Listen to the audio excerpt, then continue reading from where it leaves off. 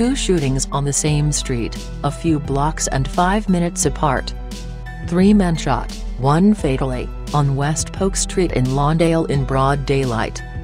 There were at least 44 people shot in Chicago from about 6.30 p.m. Saturday through 6.30 p.m. Sunday night, according to information from the Chicago Police Department. Seven of those shot died from their wounds, making it an incredibly violent 24 hours. Detectives are responding to the incidents but also trying to determine potential motive and those that may be retaliatory in nature, said Anthony Guglielmi, spokesman for CPD. After the two shootings in South Austin in the 5600 block of West Madison Street, in which one person was shot, and then in the 5400 block of West Madison Street, in which two people were shot, police had to question whether one was retaliation for the other. Can't say yet, we're exploring that possibility given the geography and timing, Guglielmi wrote in a text. Ten minutes later, a call went out requesting ambulances respond to three more people shot at the intersection of Madison Street and Central Avenue, the same area of South Austin. A total of six people had been shot in the area in three separate shootings within about two hours. In earlier shootings Sunday, a man, 20, was shot in the 5100 block of West North Avenue in North Austin, officials said. About 4.50 p.m. he was shot in the lower right leg, and he showed up at West Suburban Medical Center, where he was listed in good condition.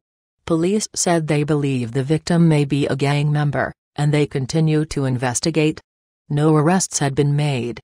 A 49-year-old man was shot in the back as he stood in the 10600 block of South Green Bay Avenue in the East Side neighborhood when a light-colored minivan pulled up and a man wearing all black jumped out of the minivan, covered his face and shot the victim, before getting back in the minivan, officials said.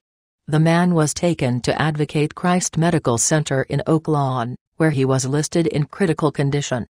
A man, 24, was in critical condition at Stroger Hospital after being shot in the face and the abdomen, authorities said.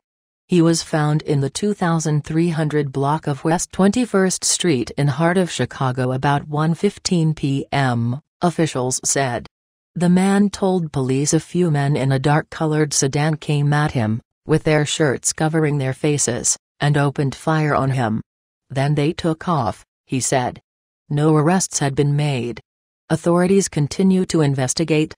A 27-year-old in West Englewood was shot in the left ankle and right arm, police said. He was taken to Stroger Hospital for treatment about 8.46 a.m., officials said. The man told police he was standing in the 5700 block of South Paulina Street when a man got out of a dark-colored sedan and came up to him on foot officials said.